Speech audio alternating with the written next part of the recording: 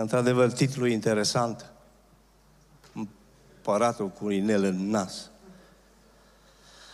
Ai, nu știu ce să vă spun. Nu știu pentru ce ați venit aici în dimineața asta, dar indiferent de vârstă, indiferent de culoarea confesională, va fi șocant. Uh, pentru noi, predicatorii, vedem câte ceva din bucătăria noastră. Uh, mai mult a mea. Când sunt invitat undeva, ok, simt că îi da, ok, îi da. Doamne, dacă îi da, merem cu da înainte. Bun, după da vine cu ce vine aici?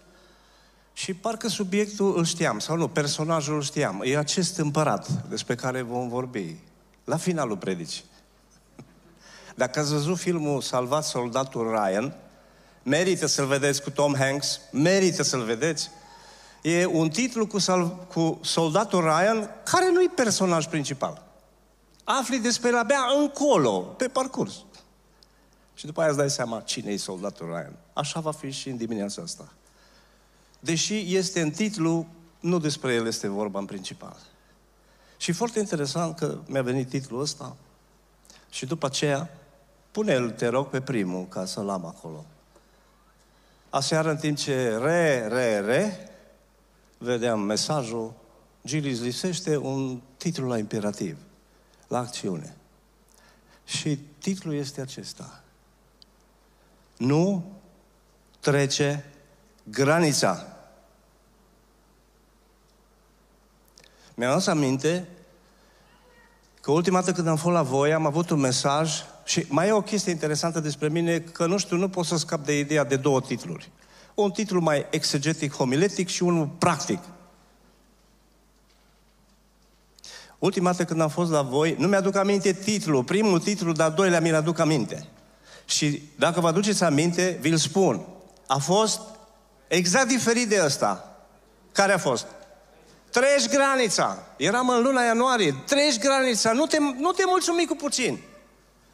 Știi o limbă străină, o limbă maternă, mai învață și pe aia paternă. Nu te mulțumi cu mediocritatea la școală, în profesie, să crești, treci granița, dă-i drumul. Iar acum o să zică cineva, nu, bine, Gili, ai venit cu un titlu care merge exact pe invers. Exact pe invers, exact asta este. Nu știu unde ești. A, vă mai spun ceva legat de pregătirea mesajului. Mi s-a părut așa pentru schiori. Este că te duci, ai impresia că te vei duce pe... A, îți alegi așa o, o, o pârtie de schi din aia ușoară, știi? Verde, nici nu mai știu ce culoare. Verde, așa, pe, ca pentru începători. Exact așa am avut eu impresia când am luat... Oh, titlul meu venit, vai ce fain e titlul, textul, personajul, nogili, acum pregătește. Și am crezut că va fi o pistă de coborâre, o pârtie din asta verde, de începători. Și așa am și plecat. Doamne, îmi pregătesc mesajul pentru lumină. O să fie lejer. Și nu știu ce face Duhul Sfânt. Că de pe verde mă duce pe roșu. Și cu cât țineam eu să revin pe verde, cu atâta Duhul mă ducea pe roșu și puneam eu frână și trăgeam stânga și mă duceam mai în dreapta și am ajuns pe negru. Și când ai ajuns pe negru, dacă asta e valabilă, te sperie. Eu am fost șocat. Deci mesajul pe mine, pentru mine, în primul rând, este șocant și va fi șocant pentru toată lumea. Pentru că unii nu ați auzit lucrurile astea vorbite în biserică și nu le-ați auzit vorbite nici în grupuri mici. Cu toate astea, dacă aș fi pus aici peste 12 ani, mesaj peste 12 ani, și așa este, peste 12 ani mesajul. Atenție, este peste 12 ani. Mi-aduc aminte de un tată care a zis, no, a sosit vremea să vorbesc cu fiul meu despre probleme de sexualitate. Are 12 ani. Tata, curajos, împins de mama, dar na, important e că a început. Hai, fiule, da, da, tată. Uite, aș vrea să discutăm despre probleme mai delicate. Da, tată. Despre ce? Despre sexualitate. Ce dorești să știi, tată?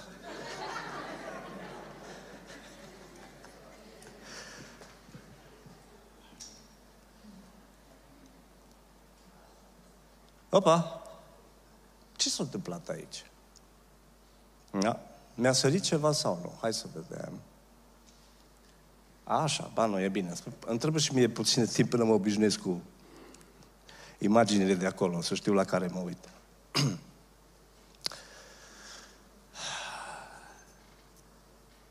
Geniul poetic este unor extraordinar. Dacă recunoașteți poetul,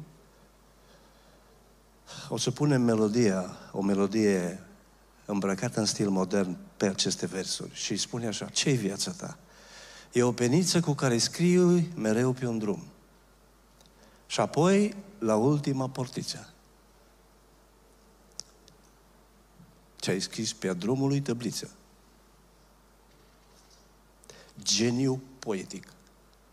Îți sparge tot ce i-a aflat în un, mil, un milion de predici care le-ai ascultat până acum. Nu se mai șterge? Nu se mai șterge? Nici de cum. Și apoi mai departe. Și vorbe în vânt și fapte rele se scriu pe veci, pe veci, ca într-un album. Păzite scrisul tău. De cosmos. Păzite scrisul tău de stele. De a-i pune mări întregi să spele. Nu se mai șterge. Nici de cum. Dragii mei, nici de cum. Uneori ai nevoie de câte o revelație poetică ca să te poți duce la anumite texte și să te uiți altfel la ele. Acum, pentru... Îmi place că sunt oameni cunoscători de Biblie la lumină. Dar vin generații noi care zic așa, mă, dar las că e Noul Testament e de ajuns. Nu mai citiți voi Vechiul Testament. E una din cele mai mari tâmpenii. Poporul evreu întotdeauna începe anul lor cu Geneza. Pot să vă spun așa, și Dumnezeu le-a aranjat așa, în mod suveran, ai Geneza, ai cele cinci cărți, ai profeții, ai Noul Testament. Dacă nu poți citi cinci cărți, citește una. Geneza este cartea cu prima cu care începe și e important aproape să o știi pe de rost. Vă recomand când vă plictisiți, citiți Geneza. E ușor de citit. E multă narațiune și în anumite locuri ficțiune. Dar e fantastic. Sunt evenimente și tipare reprezentative acolo. Și o să înțelegeți de ce e important să citim Geneza și să o știm. Să o mestecăm. Pentru că acolo sunt evenimente și tipare reprezentative. Acolo, de acolo au început lucrurile și întotdeauna e bine să știi cum a fost originalul. Al doilea lucru, există un principiu a primei menționări. Te interesează un subiect din viața asta? Nu începi cu Apocalipsa, nici cu Noul Testament, te duci la prima menționare. Dacă găsești în Geneza, ești fericit. Înseamnă că de acolo trebuie să începi lucrurile. Și apoi mai există un, un, un alt principiu important, principiul scopului original. Mare majoritate lucrurilor cu care noi am ajuns să avem de-a face în secolul 21 sunt pervertite, sunt limitate, sunt așa mai departe. O să mai revenim. Deocamdată nu v-am făcut această încălzire puțin pe partea stângă. De ce e important să citim Geneza? De ce dacă nu știi Geneza, nu știi aproape nimic? Ce să mai zice de, de Apocalipsa, dacă nu știi Geneza? Ok. Am să iau un singur verset interesant. Sunt foarte multe evenimente, o să amintesc despre două, trei din Geneza, dar există un pasaj interesant ăsta.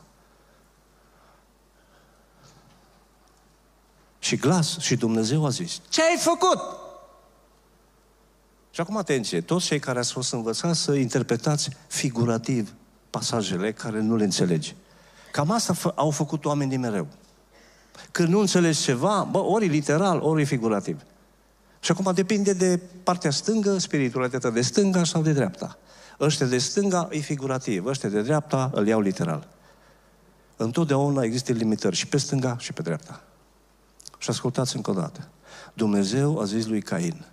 Când? Când l-a confruntat pe Cain? După ce? Ce-a făcut băiatul ăsta? Ce-a făcut? Și-a ucis fratele. Și ce-a făcut cu el?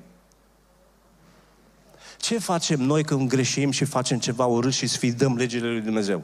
Ce facem? Ascundem. Și el l-a ascuns pe fratele lui. Și e o chestie foarte tare. Ai impresia că trebuie să-l iei figurativ. Deci, glasul sângelui fratelui tău strigă din pământ la mine. Fizică cuantică. Până nu a apărut Einstein și toată fizica cuantică, avem impresia că e doar o chestie aiurea. Dragii mei, nimic nu se pierde în lumea asta. Nimic. Absolut nimic. Gândurile noastre toate se stochează undeva. Islamul era la porțile Constantinopolului. Și erau câțiva băieți deștepți teologi acolo și ei își puneau întrebarea, în loc să se apere, mai oare câți îngeri în cap pe un act de gămălie?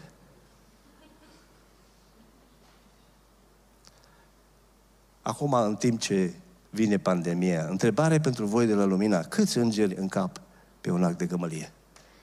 Hai să vedem răspunsuri. De aici. Cât? Zece, am auzit. Cât? Toți. Cine a zis? Vai. Băiatul a zis sau... Deci că toți în cap acolo. Alt răspund mai... Cine dă mai mult? Nici unul nu încape acolo. Foarte... Hai, altcineva. Creativitatea lasă loc pentru o grămadă de răspunsuri. Că sunt cap, dacă nu încap în cap parcare, cum pot să încap în, pe un lac de gămălii? Dar un alt răspuns posibil ar fi câți vrea mușchilor. Vezi că e foarte interesantă întrebarea limitativă. În fizica cuantică sunt o infinitate de universuri paralele. Și ceea ce ai făcut tu acum 5 ani și l-ai acoperit, zici că e acoperit. Nu e acoperit. Nimic nu se șterge, dragilor. Absolut nimic nu se șterge în lumea asta. Ce povestesc acum e horror. E film horror. De groază. Pentru că unii am ascuns lucruri. Și avem impresia că sângele nu strigă.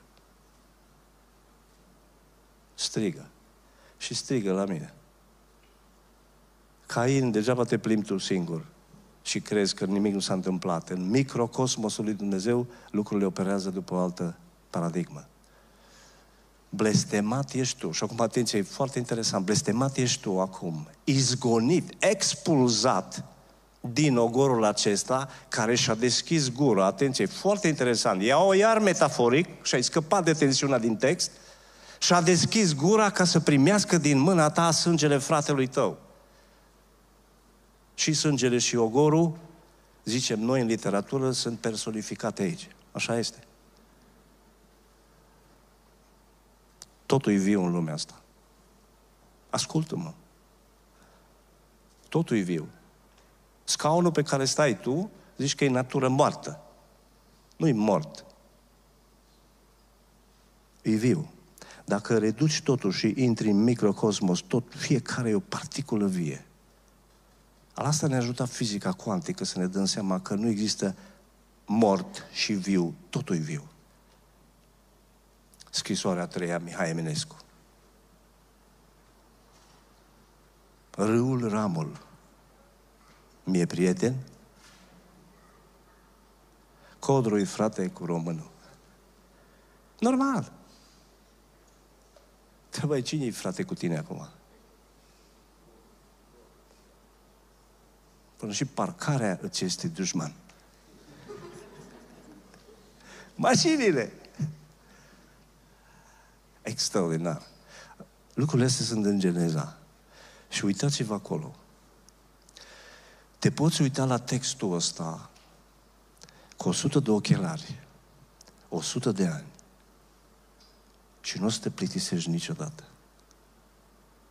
Uitați-vă, pentru că apare în Geneza și apare o primă menționare în care zice așa, blestemat ești tu și izgonit din ogorul acesta care și-a deschis gura ca să primească din mâna ta sângele fratelui tău. O să ne grăbim. Acum m-am făcut un pic de pauză cu fizica cuantică. Mă uitați-vă ce spune așa. Ce se întâmplă când cineva este izgonit din pământul și țara lui?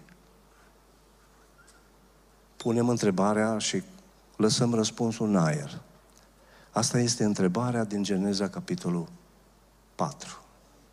Hai să punem întrebarea în secolul 21 cu privire la România. Ce se întâmplă cu țara asta când o grămadă de oameni sunt izgoniți încolo?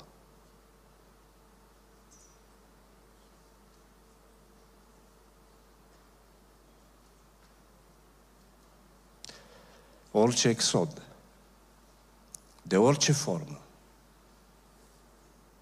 pe rezultatul lui asta. Puteți da vina cât vezi pe politicieni.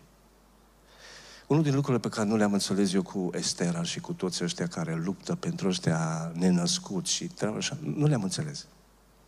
Nici acum nu înțeleg foarte multe. Dragii mei, nu înțeleg. Cu cât îl înțeleg pe Dumnezeu mai bine, cu atât îmi dau seama că știu mai puține. În dimineața asta veți fi provocați cu lucruri deosebite, șocante. N-am început la ele, acum am luat-o și încet. Ideea este că nici eu nu le înțeleg pe toate, dar trebuie să mergem în ele. Asta cu Estera mi se pare eroism. Eroism. Dumnezeu să vă binecuvinteze. Să lupți pentru aia care nici măcar n-au nicio nimic. Dar acolo e problemă de sânge și mă bucur că Claus are ideea asta cu sângele.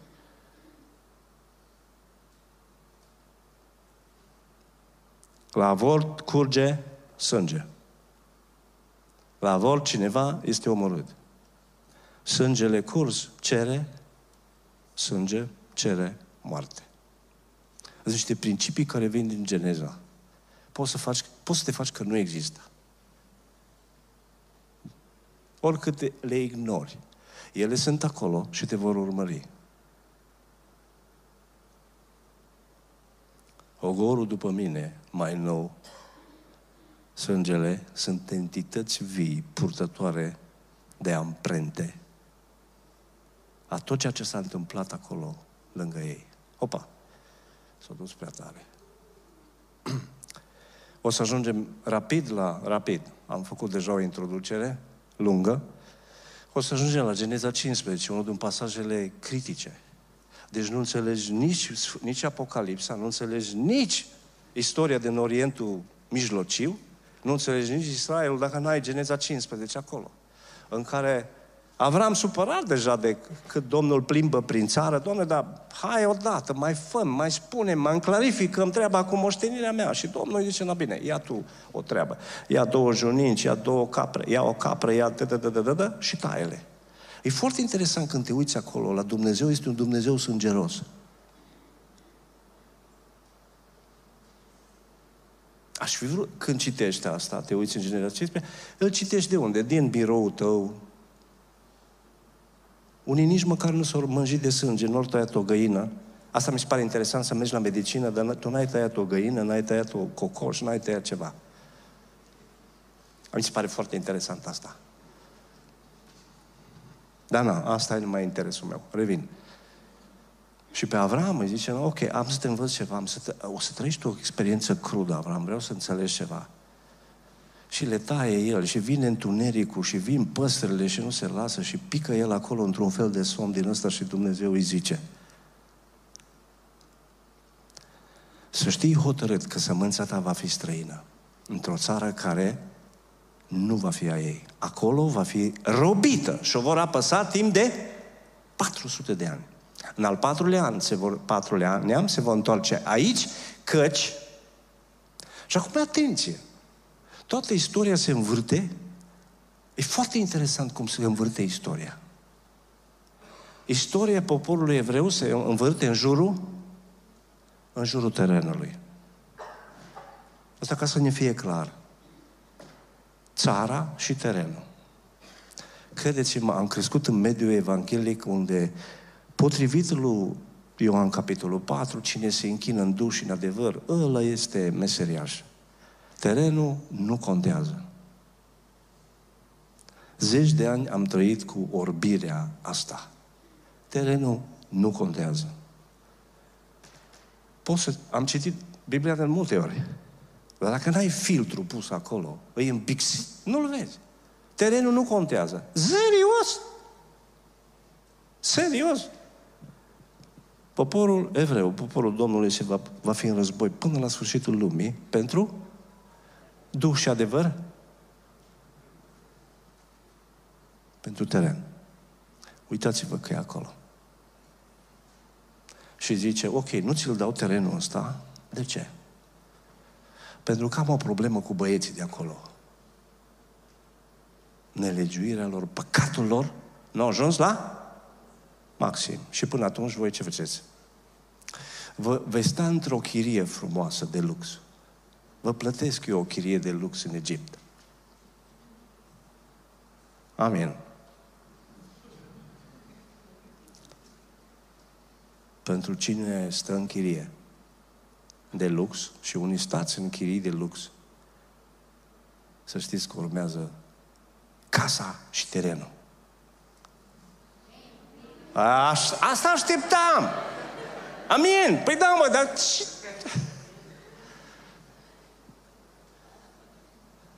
Partea faină, știți care este și dureroasă, este că acel teren acum e al altcuiva. Și urmează să fie al tău. După treaba asta frumoasă, sângeroasă, mai vine un element interesant. Avram, am, am o treabă cu tine, Așa ca să ne fie clar că ești al meu și toți ai tăi sunt ai tăi și ai sunt ai mei, hai să trecem la operație. Na. Ei, numai bine am avut binecuvântare acum. La fată. E enervant Dumnezeu că sunt anumite teme dominante. Și una din temele dominante e tema sângelui. Tema durerii. Și nu știu de ce, parcă Dumnezeu vrea întotdeauna când te trece de într-o etapă în alta, să treci prin durere. No, am o problemă cu băieții și bărbații.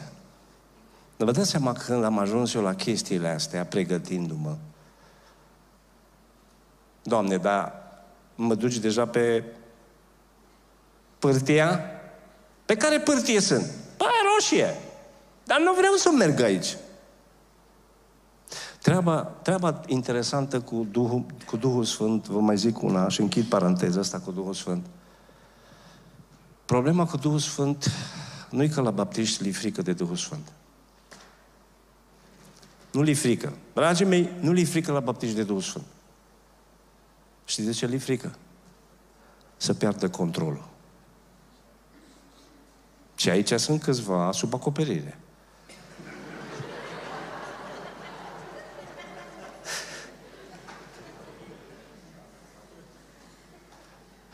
pe care pârtie am vrut eu să ajung la împăratul cu sârmă în nas? Pe pârtia verde. Mă ca să vedeți cum Domnul zice, na, acum treci pe roșu, Gilie. Dar nu vreau. Ha.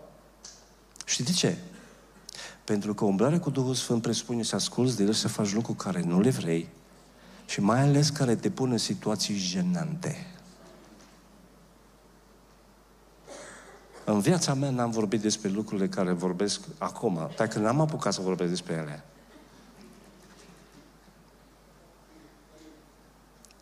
Unul din lucrurile pe care Dumnezeu l-a testat pe Avram la 99 de ani, la 100 de ani, dragi frați în vârstă, care sunteți peste 30 de ani,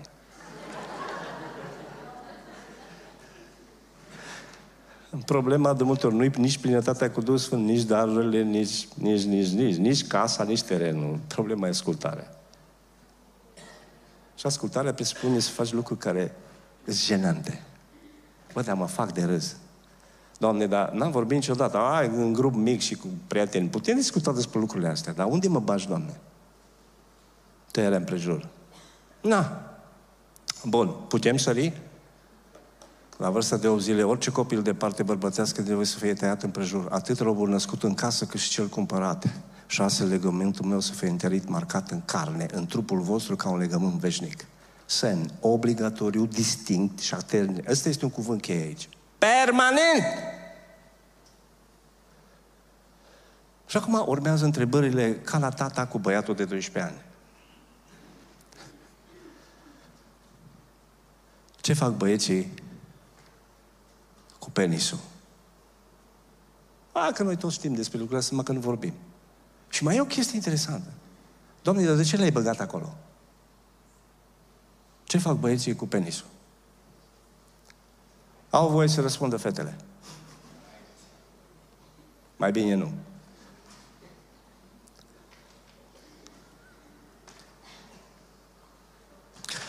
O întrebare, ce tare a fost, m-a trecut, zice o mămică. Vorbeam cu fetița mea, avea 12 ani. Interesant cu vârsta asta de 12. Și zice, dar da Dumnezeu pe unde face pișul? Și mă, copiii pot să pună întrebări din astea inteligente. De ce vrea, de ce a vrut Dumnezeu un semn permanent pentru băieți?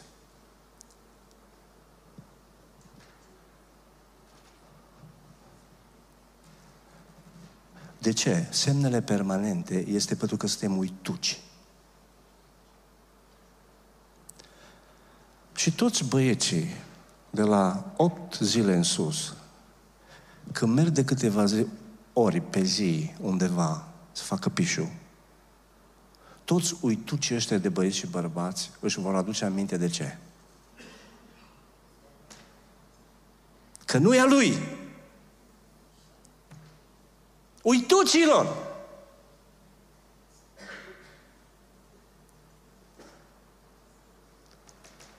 Nu ești a tău.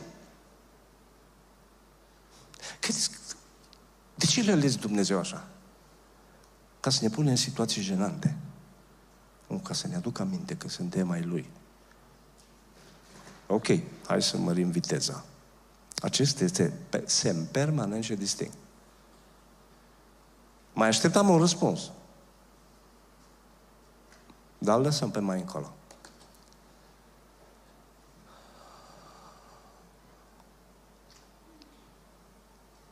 Foarte tare. Geneza, Exod. O să, o să observați că mergem prin câteva cărțile lui Moise, cele cinci. Robul care, la șapte ani, dacă toți care aveau, erau stăpâni de rob, trebuia să le dea drumul. Era obligatoriu. Ok, vine anul al șaptelea, în care robul e liber să plece. Domnule, ești liber să pleci. Și să auzi un rob spunând chestiunile astea. Exact cum a început cu te iubesc, Doamne. Uitați-vă ce, zi, ce va zice. Robul care nu vrea să plece, de la stăpân, atât de bine se simte sub protecția stăpânului, sub purtare de grijă, putea face ceva. Îi zicea lui stăpân, no, ia niște, ia un cui, ia ciocanul și uite-te aici. Marcăm permanent că eu vreau să la mine la tine în casă până la sfârșitul vieții și uite-te aici, cu ce se face? Cu durere, cu semn și cu sânge. Ce te gândești despre robul ăla? Bă, trebuie să fie prost. Dacă robul va zice, eu iubesc pe stăpânul meu, pe nevastă și copiii mei și nu vreau să ies, nu vreau libertate, Atât de mult te iubesc, Doamne, stăpâne, încât nu mai vreau libertatea.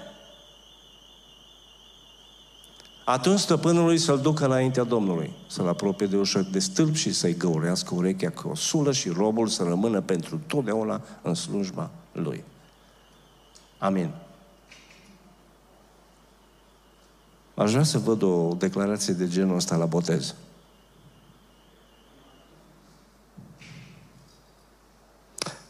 Decât un botez făcut în grabă.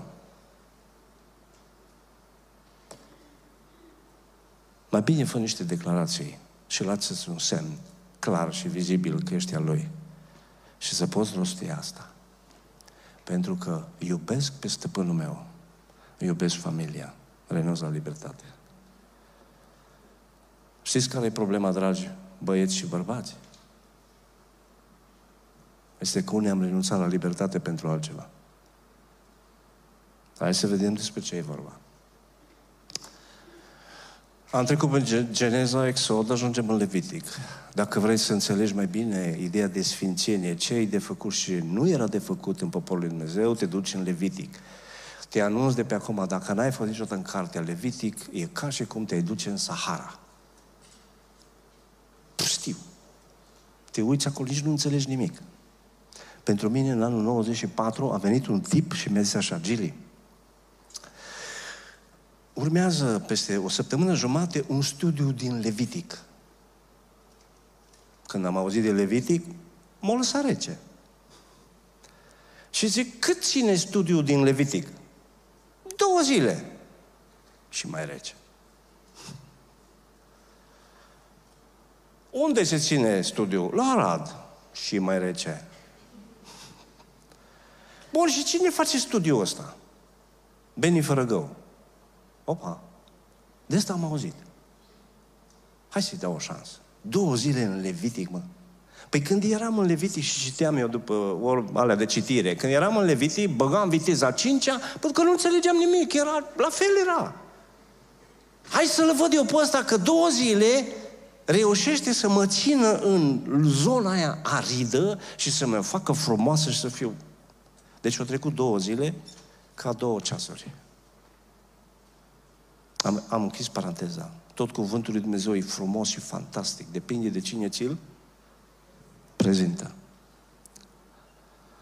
Să nu faceți ce se face în țara Egiptului unde ați locuit, și interesant, să nu faceți ce se face în țara Canaanului unde vă duc. Să nu vă luați după obiceiurile lor. Tot ce vedeți acolo, vă rog să citiți, 18, 19, 20, toate perversiunile sexuale. Suntem la sexualitate. Mergem pe o anumită linie, că sunt foarte multe acolo. A fost foarte interesant. Primul, primul tip cu înclinații homo, am dat de el. Mi s-a spus de mai multe direcții, no, hai să avem o discuție frumoasă și elegantă ca între bărbați. Mă, o venit cu, cu texte în care e ok, e nemaipomenit. Da, zic, mă, în, în Biblia ta nu există Levitic. Unde e aia? Pa, pa, pa, ne-am dus acolo. Foarte explicit ce înseamnă asta, perversiunile astea. La toți oamenii lui le-au trimis textele. Asta a fost lucru bun. Și n-am crezut că e atât de explicit lucrurile. Bă, sunt foarte explicite. Deci nu vă luați după obiceiurile lor. Nu vă luați după ele. De ce? Țara a fost spurcată. Acum înțelegeți deja. Țara a fost spurcată prin ele. Eu îi voi pedepsi fără de legea și pământul va... Vă prindeți deja. Cine-i pământul ăsta? Că încălcat pe el. Pământul ăsta va vărsa din gura lui pe pe locuitori. Indiferent cine sunt locuitorii ăștia, că fie că să ai mei, fie că să ai lui, cei care vor continua cu obiceiurile astea, exodul. Și Dumnezeu s-a ținut de cuvânt. Și Dumnezeu se ține de cuvânt și în secolul 21 și se ține cât de cuvânt și la lumină. Nu știu pentru ce ai venit în dimineața asta, dacă te-a dus cineva, dacă ai frământări, sunt însă convins că Duhul Lui Dumnezeu îți vorbește și îți vorbește prin texte din Vechiul Testament. Nu mă duce pe mine în Vechiul Testament, alea țin de... De cine? De cine?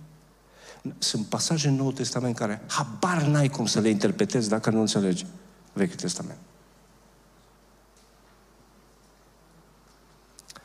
Păziți dar legile și poruncele mele și nu faceți niciuna din aceste spurcăciuni care au fost înaintea voastră în ea. Și astfel, țara a fost pângărită. Întrebare pentru voi. Când citești Iosua, În ce țară intră generalul Iosua cu noua generație de luptători ai poporului evreu? Ziceți! Ziceți! Și cum e țara? Țara în care curge lapte și miere. Așa e că asta ne aducem noi aminte. Țara în care... Ce mai curge în, lapte, în, în țara respectivă? Păcat și fiere. Acum ascultă ceva. Unul din lucrurile care le-am învățat târziu. Dacă ești în chirie și te mulți în casă, dacă Domnul îți dă o casă și un teren,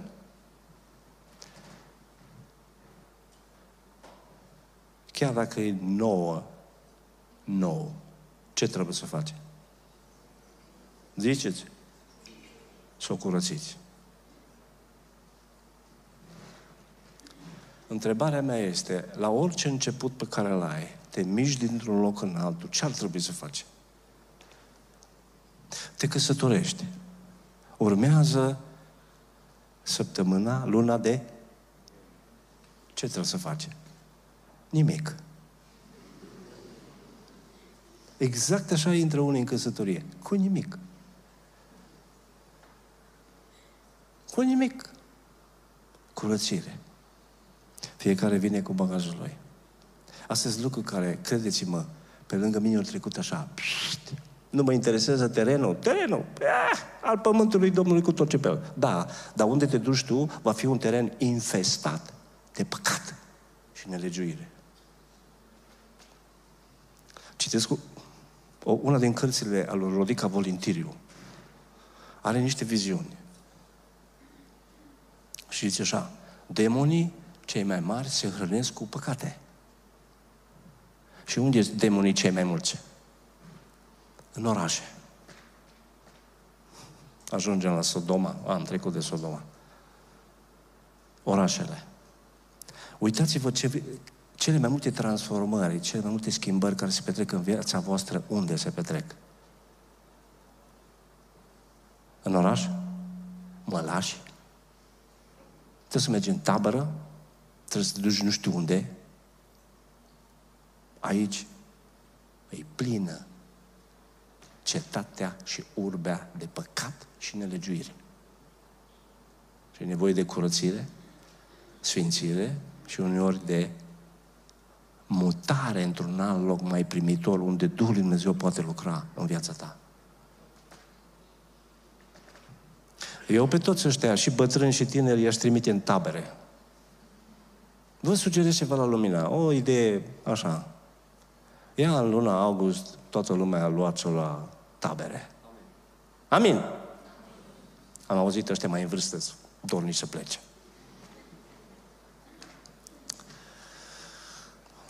Levitic 19. Am ajuns în Levitic, ne legăm de ceva. Unde suntem? Asta ca să știți de pe unde suntem, suntem la semnele permanente. Să nu mâncați nimic cu sânge. Suntem la semne permanente și la corp, la trup. Să nu vă faceți tăieturi în carne, slove săpate pe voi. Ce sunt astea? Semne, marcaje permanente pe corp. Foarte interesant dacă cauți la tatuaje, mai sunt unii care au pus exact ce fac ăștia. Este o sfidare. Levitic. Asta scrie să nu fac. Poftim. Poftim. Exact așa va face împăratul care va ajunge cu inele în nas. A, asta scrie că nu... O să-ți arăt că se face. Unii dintre voi acolo sunteți. Vreți să-i arătați ceva lui Dumnezeu. Dumnezeu te trimis aici. Și pe mine. Și pe tine. Să spun, nu trece granița.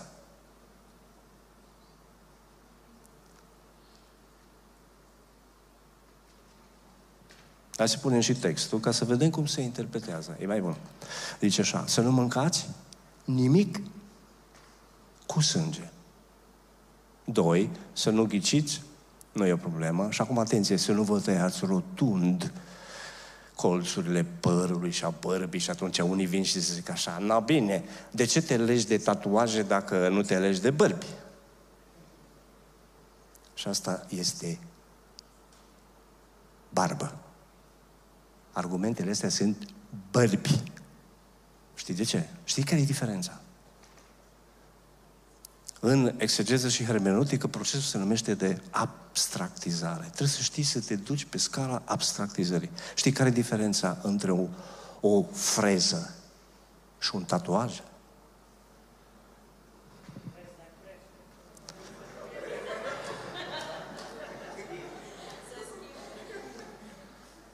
Da, freza se schimbă. mai temporar, altă permanent. Da, părinți, dacă adolescentul vreau să vezi să-și facă cruce în cap și îl vopsește părul cu nu știu ce, lasă să-și îl vopsească. O să-i treacă. Există ceva. Dacă ai ceva împotrivă, sunt de acord cu tine. Așa trebuie să faci și cu adolescenții. Nu mergi împotriva lor, te duci cu ei și după aia o întorci.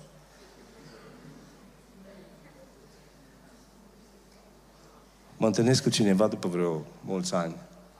Deci știi ce mi-aduc aminte de tine când am fost la Vox prima dată, acolo pe Eneas? Nu. Băi, zice, eram în perioada mea de rebeliune. M-am vopsit verde în cap. Dai seama, m-am dus la ei mei, la biserică. Tu știi să nu te vedem de aici. Mă, unde să mă duc eu?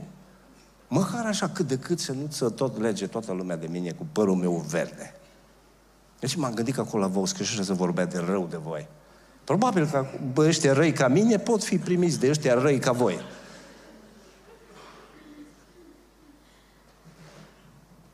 Și eu nu mi-am mai adus aminte. Dar zice, tu ai fost primul care ai dat de mine și eu de tine. Și zic, ce ți-am zis? Zice, mai șocat. Ai zis, băi, ce bine stă cu freza aia verde.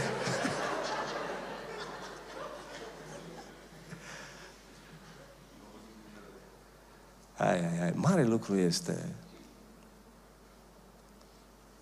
să poți să rabzi puțin derapajele adolescenților. Cam matur. Dar vă spun că n-am fost eu ăla. Ăla numai Duhul putea spune treaba asta.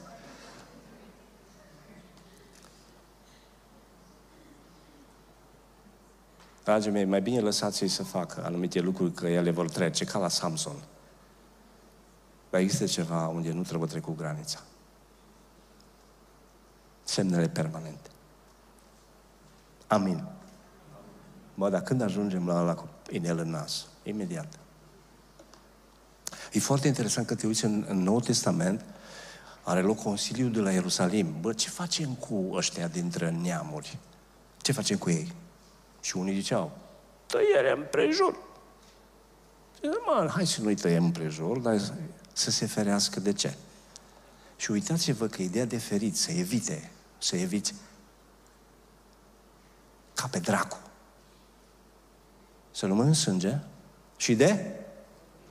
Și de? Dar de ce? Sunt teme dominante care se regăsesc. Și uitați-vă la această temă dominantă a sângelui, la tema dominantă a corpului și a semnelor permanente. Fugiți de curvie. La curvie nu numai o evitați. Pavel zice, fugi de ea ca de dracu! Păi cum mă, că atât arată de bine ea? Atât de bine arată el. Cum poate fi dracu în el sau în ea?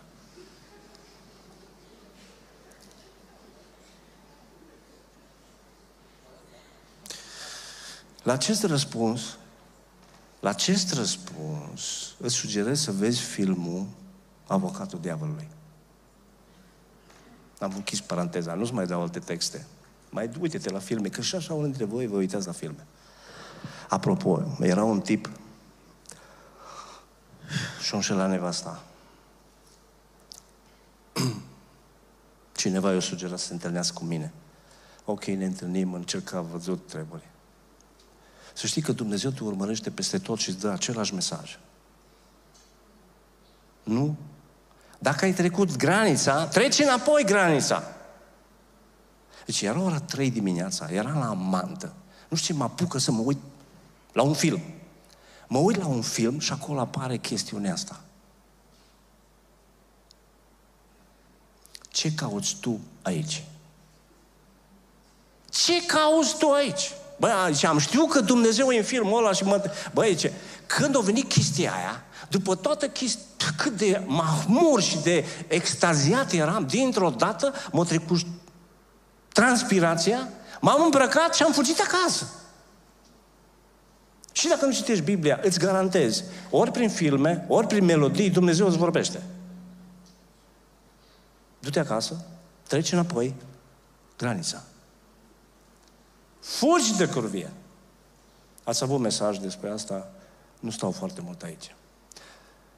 O întrebare pentru voi. Cum o să pricepem noi Apocalipsa și cu semnul fiarei dacă nu înțelegem ideea de semne și permanentizare care pleacă din Geneza? Toată lumea e în Apocalipsa și încearcă. N-ai, mă, nu poți să înțelegi chestiunile astea. Nu poți. Semnul. Marcaj permanent, impus și vizibil.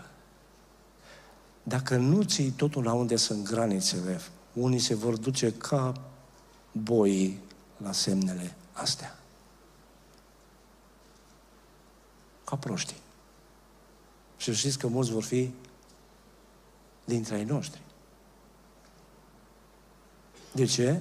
Pentru că anumite lucruri nu trebuie să-ți mai permiți să treci granița. Lasă că nu-i mare lucru. Serios?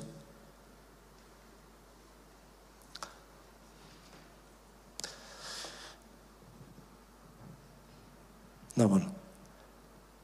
Nici nu știu cât să mă pot întinde. Mie îmi vine o grămadă de idei. Hai că vă mai spun una. Asta face parte din seria, subseria din piscină, nu piscină, din saună adunate. Așa cum vă spuneam legat de mărturisire și de schimbare și transformare, pot să vă spun că în orașe este tot mai dificil.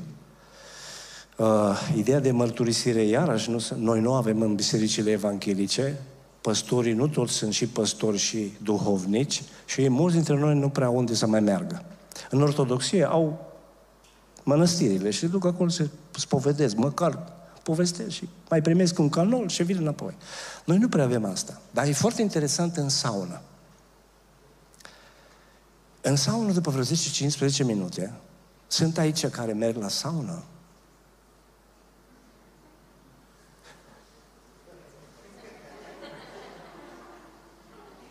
Niciun bai că nu meriți. aproape că vine să cred că e una din zonele de spovedanie în saună. De ce? Îți lași garda jos. Și mai există un timp bun al spovedaniei, este după ora 12 noaptea. Dacă petreci cu cineva timp, un ceas, două, trei, după 12 să vezi cum se lasă garda jos și începi să povestești. În saună. În saună o, iară, o, o treabă tare, ești ca, ești ca la patrafir. Și ce e la unii? Adică te acoperă cu el ca să-ți... Să nu te mai... E ca la vocea României în care nu-l vezi pe la blind auditions. Și erau, eram mai mulți acolo, dar ei nu mai știau că erau mai mulți. Că la un moment dat nu mai știi de când e singur și, și erau doi. Și unul dintre ei începe confesiunea. Bă, prietene, trebuie să spun ceva. Și nu pot, trebuie să mă spovedesc la cineva. Dar eram și eu acolo.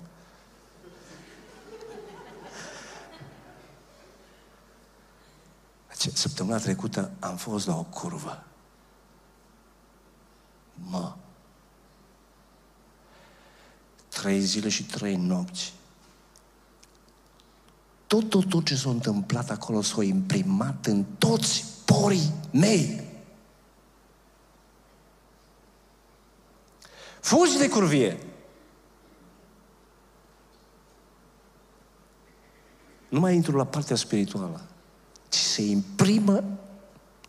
Deci încă, ascultați-mă, încă eu nu am consiliat un bărbat care să fi reușit după curvie să-și revină. Cu cei cu care am lucrat eu, au avut perioade de revenire. Iar s-a dus înapoi, iar a revenit, iar s-a dus înapoi și dus a fost. Nu trece granița. Nu te juca. Nu ai scap de ele. Gradul de revenire e ca și la droguri.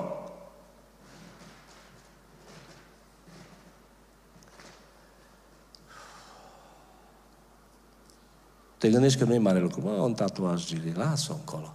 Nu e mare lucru. Nu fi naiv și orb. Nu fi ignorant și credul. Cu privire la tatuaje și la piercing. Stai că n-am ajuns la găurite.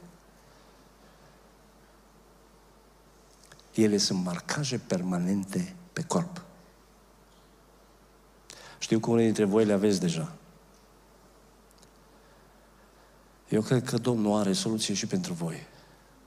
Mesajul ăsta este un mesaj preventiv. Pentru unii care cochetați.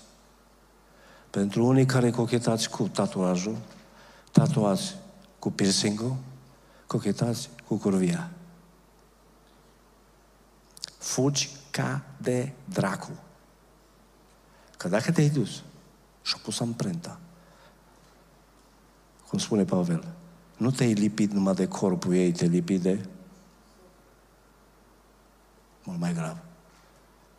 Nu-i numai, băi, dar, dar ce e asta? Bă, o treabă din asta, nu e mare lucru. E o treabă de libertate și stăpânire, apartenență și destinație.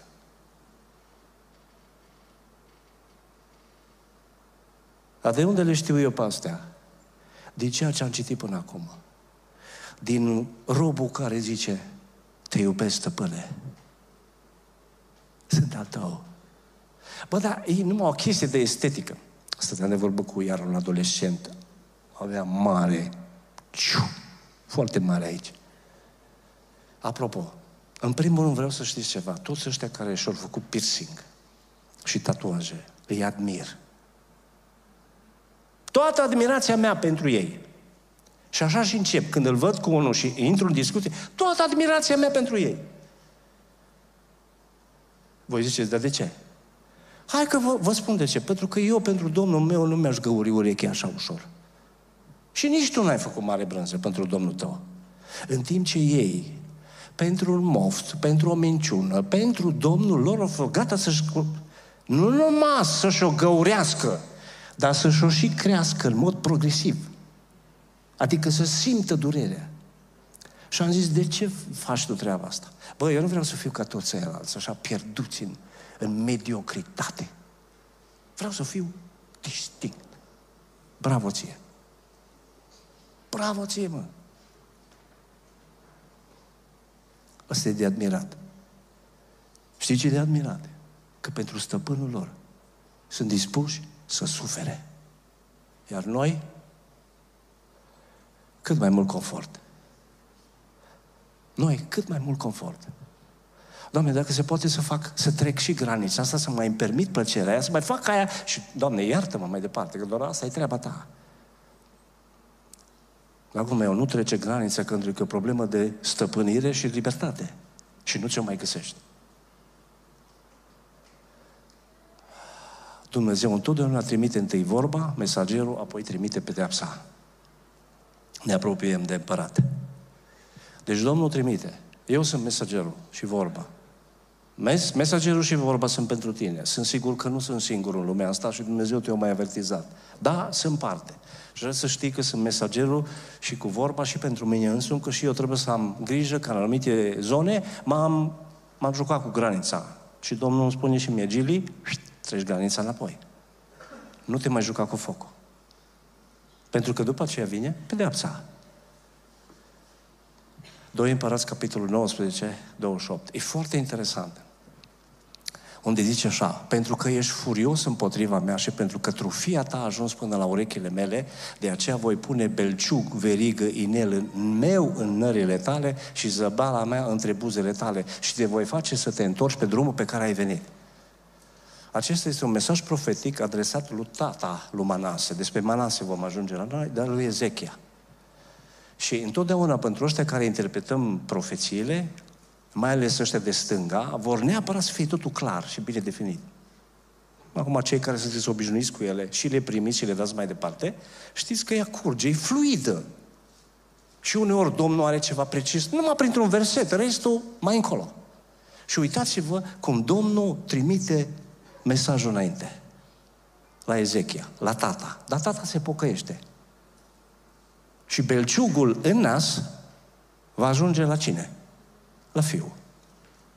La Manase. Citim textul din 2 Cronici 33. O să-l citesc rapid.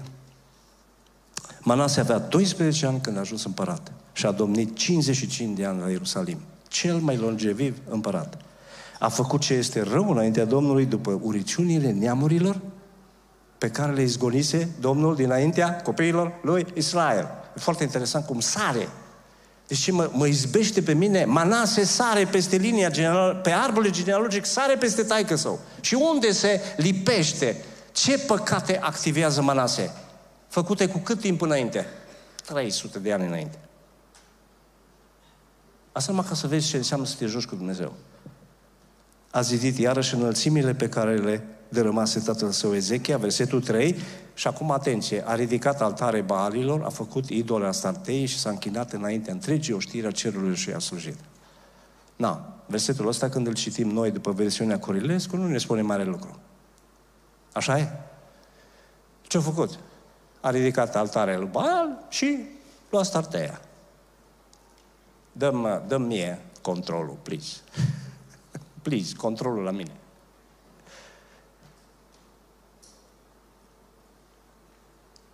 Așa. Suntem aici. Aș vrea să, dacă citiți versiunea The Message și alte versiuni noi, e important, vă recomand tuturor celor peste 30 de ani să citiți alte versiuni. Ce a făcut Manase? Numai că să vă dați seama ce poate face un, un împărat la 12 ani. A autorizat și sponsorizat de la stat confecționarea de altare ornate cu sculpturi în formă de falus. Și oriunde mergeai, erau ale acolo. Pa mai mult face închinarea prin prostituție ritualică. Asta ar tăia. Deci dacă vreți să, dacă ne uităm că totul e hipersexualizat în societatea noastră, să știți că în societatea respectivă, în antichitate, lucrurile stăteau la fel. Și Manase a zis, nu, bine, Doamne, asta vrei Tu, nu e nimic. Mă pun eu cu Tine. Manase de la 12 ani s-a pus rău cu Domnul. Calc toate regulile, toate limitele pe care le face. Domnul a vorbit lui Manase și poporului său, dar ei nu au vrut să asculte. Cine mai putea să vorbească împăratului? Și ce? Cine mai poate să-ți vorbească ție? Că tu ai, tu ai de gând să faci ceva. Tu ai de gând să faci ceva. Cine mai poate să vorbească? Deocamdată Domnul mă ales pe mine să-ți vorbesc. Nu-mi place chestiunea asta, dar n-am ce face. Dar trebuie să o fac. Și Domnul a trimis pe o grămadă la Manase. Și Manase ce a făcut cu ei? Eu omorât. Au vărsat sânge nevinovat în Ierusalim. Bun. Vine și pedeapsa. Dar e important să te uiți la un film bun, că măcar știi ce urmează cu tine dacă mergi în direcția în care vrei să mergi. Biblia e cel mai tare film din lumea asta. Cele mai multe episoade are. Nu se termină numai la sfârșitul lumii. Mai bun decât telenovelele. Și acum atenție. Domnul a trimis pe asirian, a prins pe Manase și l-a pus în lanțuri de aramă și l-a dus la Babilon. Atâta scrie Cornilescu.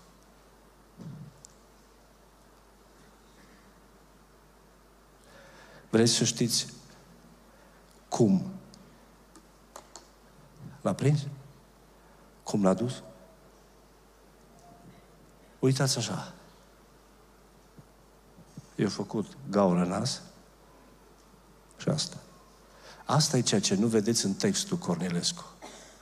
Frați și surori mai în vârstă, asta nu puteți vedea în textul Cornilescu și nu puteți vedea în traducerea noastră. E ceea ce este anunțat profetic și confirmat profetic și prin alții. este că ce a făcut Domnul, și e foarte interesant că se scrie că numai pe Manase l-a luat și l-a dus. De ce împăratul Asiria, cei mai cruzi au fost asirienii, de ce l-a luat? I-a făcut gaură în nas. I-a făcut sânge și l-a băgat. Ce, ce a vrut să-i demonstreze lui Manase? Ce a vrut să-i demonstreze? Eu stăpân aici. Manase, te-ai crezut mare și tare că poți să faci ce vrei, că poți să treci orice graniță. Orice limită. nu e nimic, eu stăpân aici. Eu stăpânul, nu e nimic. L-a agățat și l-a dus. Asta e ceea ce nu vedeți în text. Ăsta este împăratul, singurul împărat cu inel în nas. Și cei care sunteți peste 30 de ani și ați mers la țară și ați văzut ce să fac cu porcii. Știți de ce le se bagă la porci? De ce? Da, ai efectul. Ori decât, dacă vrei să treci granița, să te doară. Dragul meu, dacă încă mai cochetezi și nu ți clar, știi ce nu se vede în poza asta? Această fată frumoasă care și-a pus în nas. Știți ce nu se vede în poza asta? Știți ce nu-ți arată ție când îi zice, bă, ce fain e tatuaj, hai fă și tu, bă, hai bă că e fain, hai că mă, mă, nu e mare lucru, bă, hai că mergem, ne întâlnim cu aia, ne întâlnim cu ăla. Mă, nu e mare lucru. Știți ce nu vezi aici?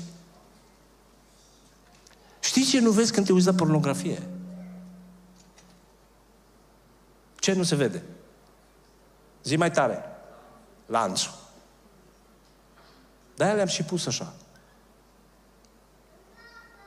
Aici v-am pus lanțul. Nu se vede nici în text. De multe ori avem nevoie de imagini ca să putem comunica mai puternic mesajul lui Dumnezeu. Aici am văzut, aici am pus lanțul. Asirianul i-a zis, eu sunt șeful aici. Ți s-o terminat Manase. Aici nu mai vezi lanțul. Dragul meu, nu trece granița. Oricât de estetic și de frumos și de cool și de distinctiv ți se pare că ești. Nu trece. Că lanțul e acolo. Altă poză. O să vă dau alt text. Nu contează unde spui. Uitați-vă la un alt text, în Amos 4, 2 cu 3. Zice, exact cum să prind pești în cârlig, anunță Domnul, exact așa, toți pescarii sunteți meseriași aici.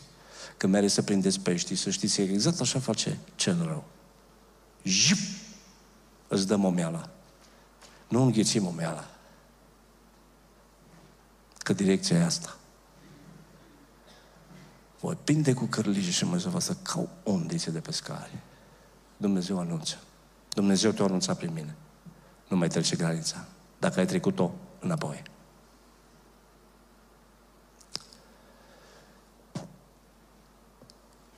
Da. Când a fost la stânturare, Manase a strigat. S-a smerit. Știți cât, cât o ținut strâmtorarea lui Manase? Aproape șapte ani. L-au luat, l-au dus și l-au, l-au închis. Aproape șapte ani o durată. Până când? Pentru că cei ăștia care sunt foarte furioși împotriva Domnului, pocăința, ca să-i zdrobească Domnul, să-i țină acolo, durează mult. Dar până la urmă, Manase s-a sperit adânc, s-a pocăit. Și Dumnezeu s-a îndurat de el. Pentru cei care au trecut granița.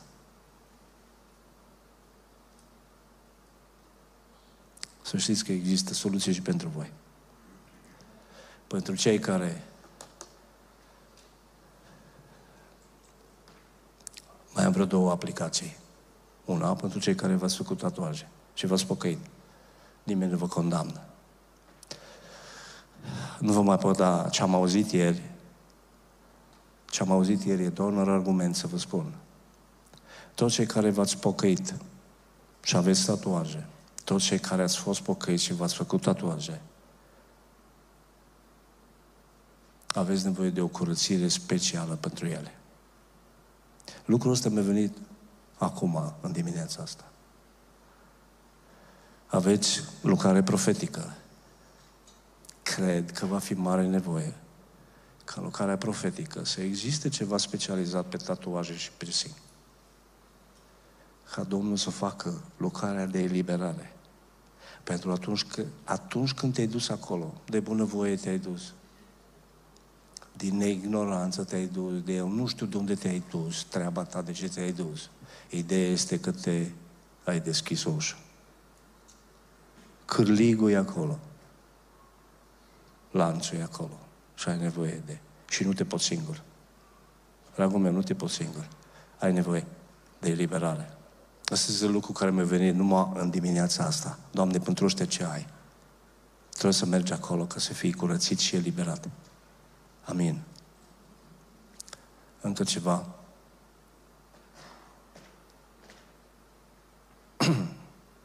Argumentul scopului original. Granița în ceea ce privește sexul s-a mutat foarte departe la perversiuni. Am ceva specific în dimineața asta. Toți cei care practicați sex oral ați trecut granița înapoi. Ce argument ai tu? Bă, noi ne uităm în cartea cântării, cântărilor și acolo aproape că s-a făcut chestia asta. Treaba ta. Treci înapoi. Argumentul scopului original. Penisul pentru sex, gura este pentru mâncare, vorbit și altele. Dar nu pentru asta. Amin. Treceți înapoi granița. E nevoie de curățire. Nu vă mai jucați. Manase a trecut și granița pocăinței. Dacă ai trecut anumite granițe și îți dai seama că Duhul Dumnezeu te convinge, pocăința e soluția. Nu, nu sta împietrit în, în ascunzișul tău și în păcatul tău pe care crezi că l-ai ascuns. El e acolo. Treci granița pocăinței. Manase, cât a fost de bandit. Deci cel mai rău dintre cei mai răi o știut până la urmă că pocăința e soluția. Și Dumnezeu s-a lăsat în duplecat. Vreau să spun ceva, dacă tu treci granița pocăinței și Dumnezeu trece granița îndelungii răbdări și a iertării. Și te iartă și te restaurează.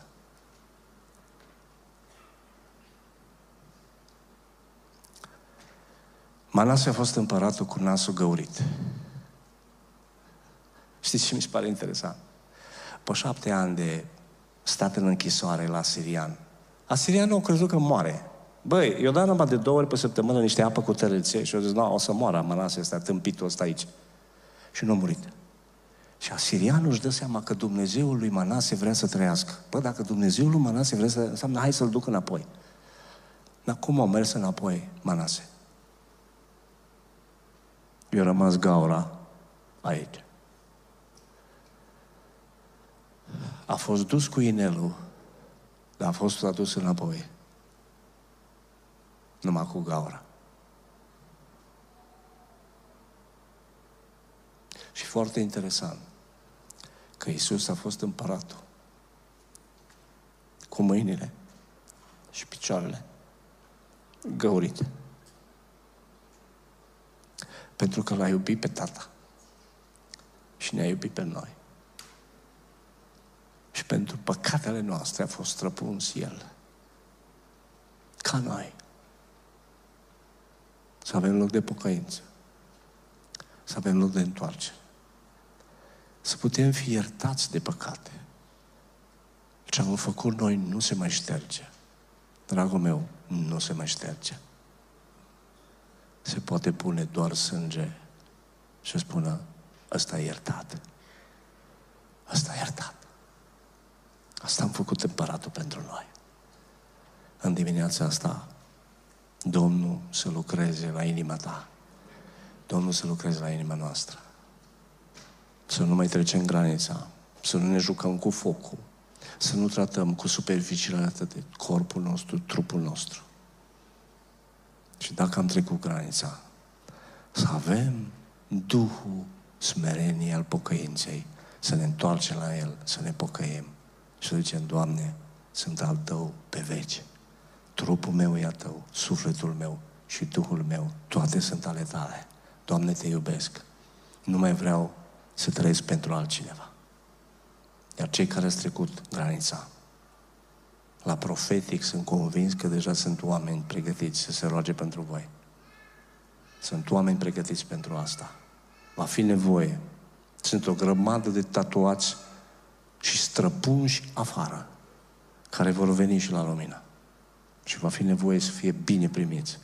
Admirați, bine primiți și curățiți și sfințiți. Amin. Dumnezeu să ne binecuvinteze cu ascultare, cu pocăință, cu restaurare. Amin.